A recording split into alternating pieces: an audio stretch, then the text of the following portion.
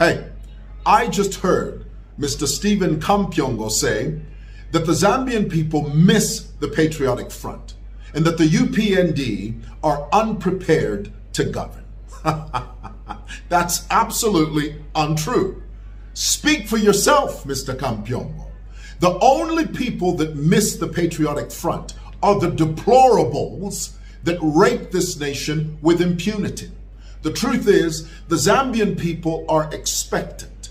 We have welcomed the UPND with open arms, and we believe, and we are expectant, that their intent to put this economy back on its feet will be realized. How dare you insinuate that we are unhappy with the new administration?